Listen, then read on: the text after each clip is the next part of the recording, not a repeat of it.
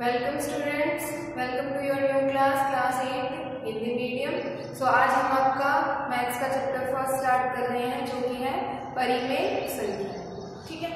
तो परिमेय संख्या क्या होती है, वो जानने से पहले हम कुछ और संख्याओं को देख लेते हैं, जो हमने पहले क्लास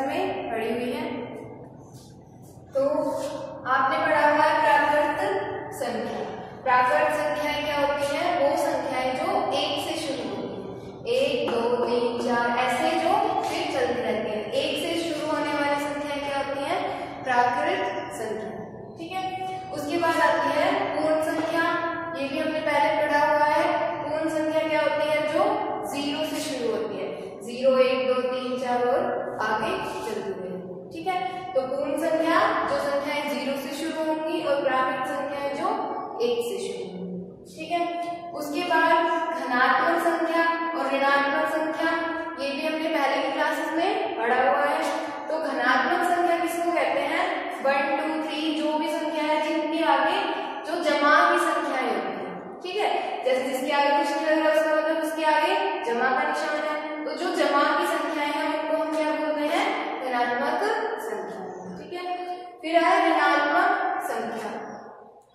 ऋणात्मक संख्याएँ क्या होती है? जब ये जो संख्याएँ होती जमा वाली, इनके आगे अगर हम घटा का निशान लगा दें तो वो क्या होता है?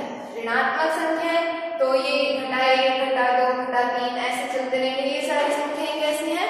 ऋणात्मक संख्या और ज़रूरी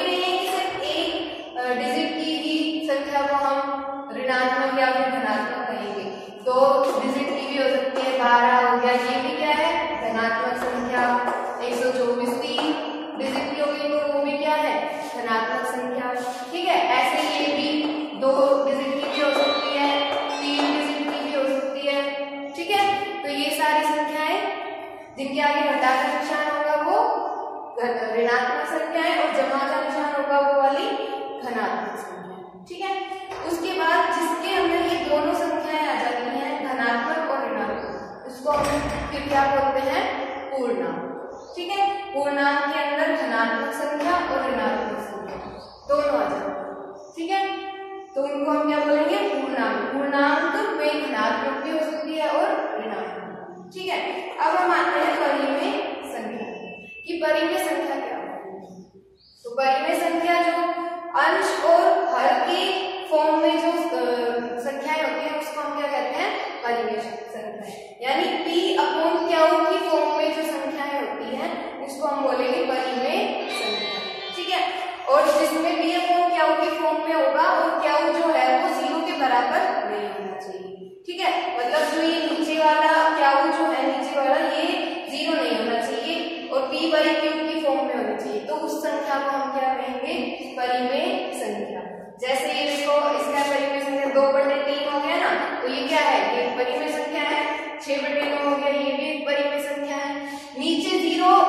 होगा तो उसको हम परिमय संख्या नहीं कहेंगे। जैसे मान लो,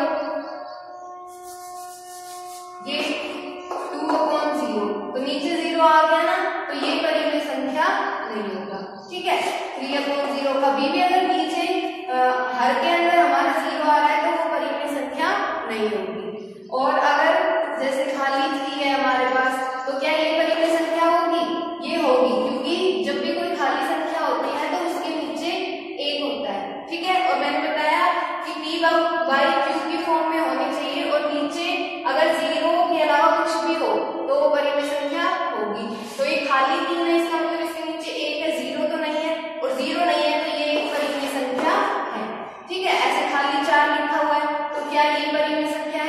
ये भी परिमेय संख्या है, क्योंकि चार मतलब चार के नीचे एक है तो ये भी परिमेय संख्या है।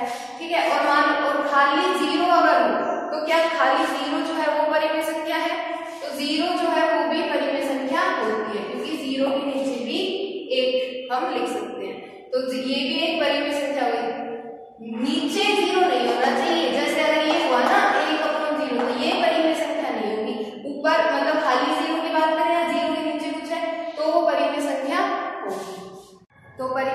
क्या होता है वो हमने देख लिया है। तो अब हम क्या करेंगे? परिमेय संख्या के गुण पढ़ेंगे।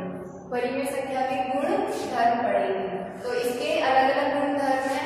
तो हम एक एक करके सारे गुण धर्म पढ़ेंगे। सबसे पहले हम पढ़ रहे हैं इसका पहला गुण धर्म, जो है संतृत इसको क्या कहेंगे? संतृत तो संत में क्या होता है? देखो योग का योग यानी जोड़, परिमेय संख्याओं का जोड़। तो हमें ये देखना है कि जब हम किसी दो परिमेय संख्याओं का जोड़ करते हैं तो क्या उनका योग या फिर जोड़ जो है, वो जो आता है उसका उत्तर, वो भी एक परिमेय संख्या आता है या नहीं आता? तो देखो, हमने एक परिमेय संख्या ले ली है दो बटे और इसका हम योग कर रहे हैं तीसरी परिमेय संख्या जो कि है चार बटे तीन के साथ उसका योग कर रहे हैं। तो जब हम दोनों का योग करेंगे तो ये जो हमारा उत्तर आ रहा है ये क्या है क्या ये परिमेय संख्या है हाँ ये परिमेय संख्या है ये अभी बताया था परिमेय संख्याएँ क्या होती है फिर देखो दूसरा है इसका जो संयुक्त में दूसरा देखेंगे वो है घटा घटा यानी जब हम दो परिमेय संख्याएँ ले लें या एक हमने ले ली चार बटे पाँच और दूसरी परिमेय संख्या हमने ले ली दो बटे पाँच तो जब हम दो परिमेय संख्याओं का घटा करते हैं तो क्या उसका जो उत्तर आता है वो भी एक परिमेय आया ज़ीरो देखिए हमने चार बटे पाँच और दो बटे पाँच। दो परिमेय संख्या थी, इनका घटा किया तो जो हमारा उत्तर आया, वो भी, वो क्या है? एक परिमेय संख्या ठीक है? तो हमने योग किया, दो परिमेय संख्याओं का तो जो उत्तर आया वो एक परिमेय संख्या आया घटा किया दो परिमेय संख्याओं का तो जो उत्तर आया वो भी एक परिमेय संख्या आया और गुना करके देखते हैं अब हमने दो परिमेय संख्या ले ली पाँच बटे छह और गुना उसका किया हमने दूसरी परिमेय संख्या चार बटे छह तो इसका गुना करेंगे तो जो हमारा उत्तर आएगा वो क्या है है ना ये भी परिमेय संख्या तो गुना किया तब भी जब हमने दो परिमेय संख्याओं का गुना किया तो भी हमारा उत्तर एक परिमेय संख्या है ठीक है उसके बाद देखते हैं विभाजन यानी भाग करते हैं तब तो अगर हम विभाजन किसी भी परिमेय संख्या का ज़ीरो के अलावा मान लो अगर हम किसी से भी विभाजन करेंगे तो जो भी उत्तर आएगा वो एक परिमेय संख्या आएगा ठीक है लेकिन ये तो हमने बात कर ली कि दो परिमेय संख्याएँ ली उनका योग किया तो परिमेय संख्या ऊपर आया, घटा किया तो भी परिमेय संख्या आया गुना किया तो भी परिमेय संख्या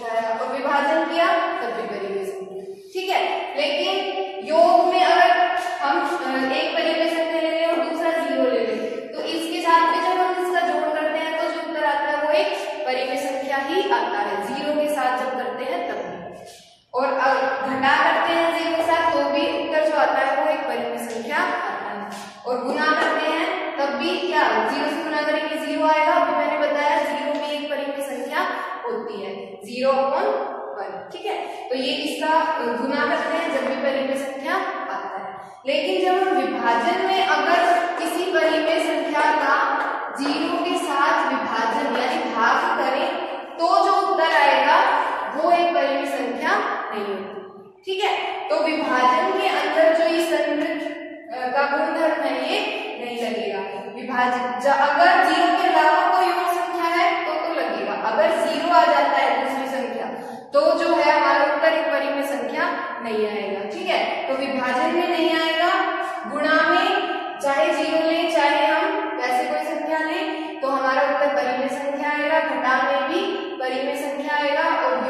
भी परिवर्तन किया जाएगा। ठीक है तो ये हमने पहला गुणधर्म कर लिया है जो कि है संकृत तो आप इस सारे को वीडियो पॉज करके नोटबुक्स में नोट कर लेना। इससे आगे का अगला गुणधर्म पढ़ेंगे हम अगली क्लास में। ओके